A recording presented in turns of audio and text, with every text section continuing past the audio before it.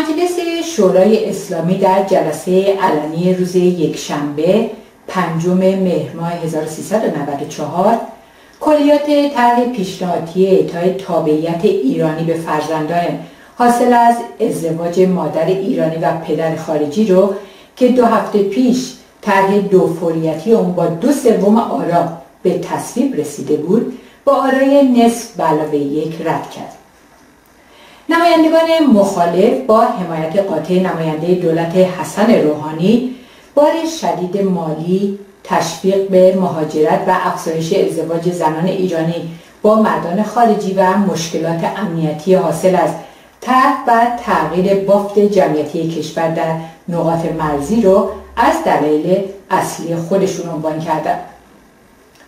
مشکل فرزندان زنان ایرانی که با مردان غیر ایرانی ازدواج کردند اکنون به مشکلی جدی تبدیل شده.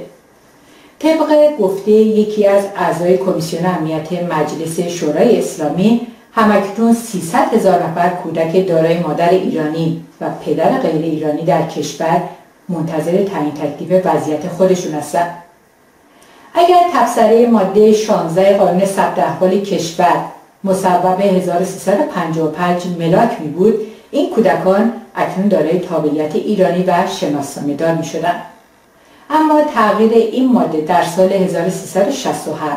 و سپس مصوبه مجلس در سال 1385 که اعطای تابعیت به این کودکان رو با شرایط دشواری به بعد از 18 سالگی موکول کرد عملا راه رو برای اخذ تابعیت این کودکان مسدود کرده با رد کلیات طرح کنونی در نشست یکشنبه مجلس شورای اسلامی راه برای حل مشکل صدها هزار کودک ایرانی همچنان بسته مونده.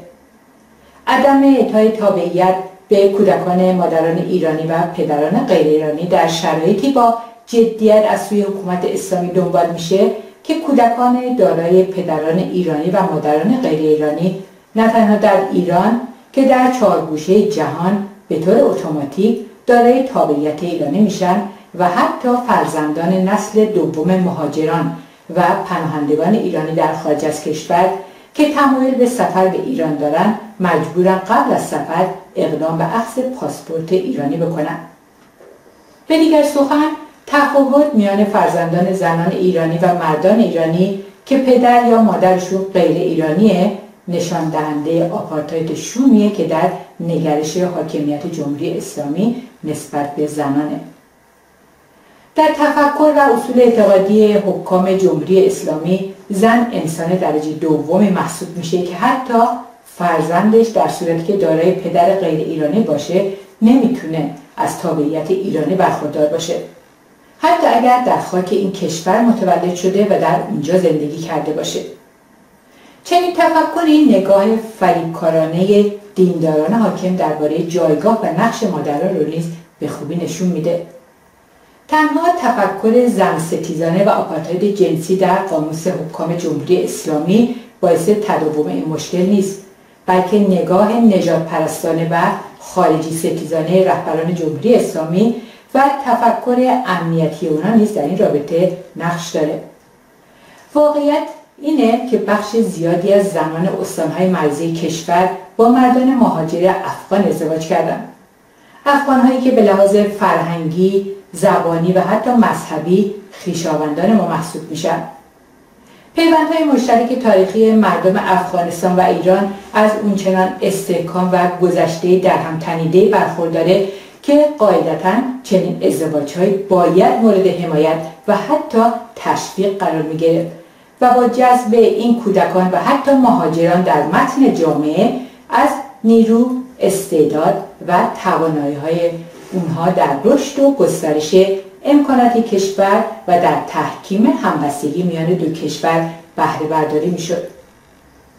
اما نگاه به شدت امنیتی و خارجی ستیزانه سران حکومت اسلامی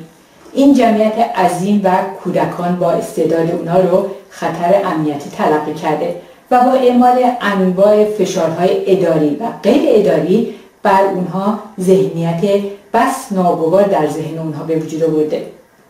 بسیاری از دختران و پسران مهاجران افغان که در ایران متولد شدند و برای فرار از فشارهای درون ایران به اروپا پناه بردن به جای سفیران فرهنگ و تمدن و مهمان نوازی ایرانی از حوادثی سخن میگن از احساسات زخم خورده حرف می‌زنن و تجربی را ارائه میدن که عرق شر بر پیشونی هر ایرانی میشینه.